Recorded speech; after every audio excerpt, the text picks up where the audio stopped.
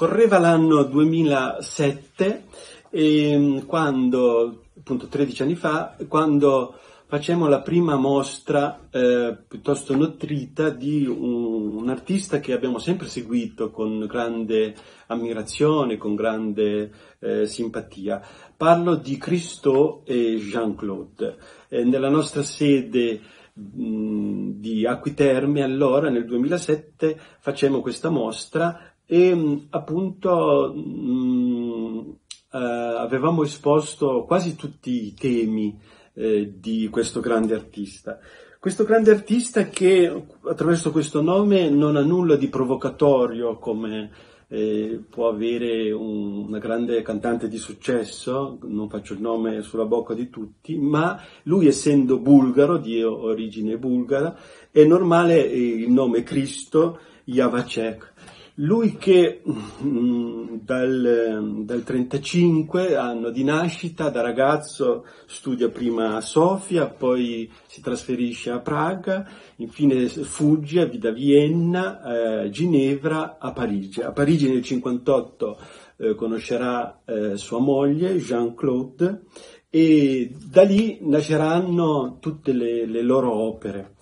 E, ehm, poi il trasferimento nel 64 insieme negli Stati Uniti, a New York, a Manhattan. Ecco, qual è la caratteristica di questo grande artista eh, considerato della land art? Eh, la land art sapete essere questo grande eh, movimento eh, che ormai anche i manuali di divulgazione di storia dell'arte integrano in un capitolo, che comprende tutti quegli artisti che agiscono, fanno un'arte sulla terra in realtà mi è capitato, e questo è, è, divertente, di parlare di land art personalmente con protagonisti come appunto Christo, oppure con Richard Long, oppure con Hamish Fulton, e a parlare, a sentir parlare di eh, tutti questi artisti, a sentir parlare di land art si irritano, proprio si irritano veramente.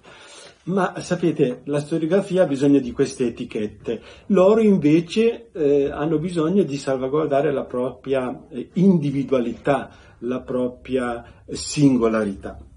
Chiusa questa curiosa parentesi, ecco qual è la caratteristica fondamentale, più importante del percorso creativo di Cristo. E avevo, avevamo intitolato con i miei fratelli questa mostra del 2007 Rivelare, proprio perché secondo noi il primo aspetto più saliente, più importante del, della creatività di Cristo è proprio quello di, come sapete, impacchettare che può essere enormi impacchettamenti, appunto, che può essere il Reichstag di Berlino, che può essere il Pont Neuf, che è stato il Pont Neuf di Parigi, oppure di inserire degli elementi nel paesaggio come il Running Fence, che è questa recinzione che scorre lungo tantissimi chilometri eh, nel paesaggio americano, oppure abbiamo visto grande successo sul lago di Iseo i floating piers pochi anni fa nel 2016, che sono questi molli, moli galleggianti, oppure i gates, le porte attraverso tutto il percorso di Central Park, questo avveniva nel 2005. Dunque, eh, Christo è quell'artista che eh, ogni volta incide su un paesaggio diverso o impacchetta eh, un, un, monumento storico e rivelare è proprio indice dell'etimologia stessa, cioè in nascondere temporaneamente, temporaneamente un, un, monumento, appunto il Reichstag o il, il Pont Neuf a Parigi, per poi farcelo vedere eh, veramente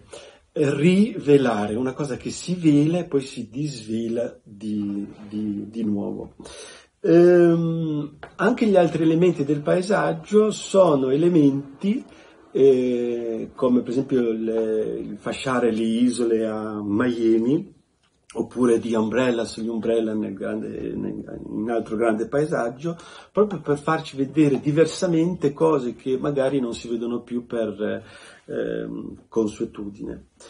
Eh, per cui concludo dicendo che l'aspetto eh, primario più importante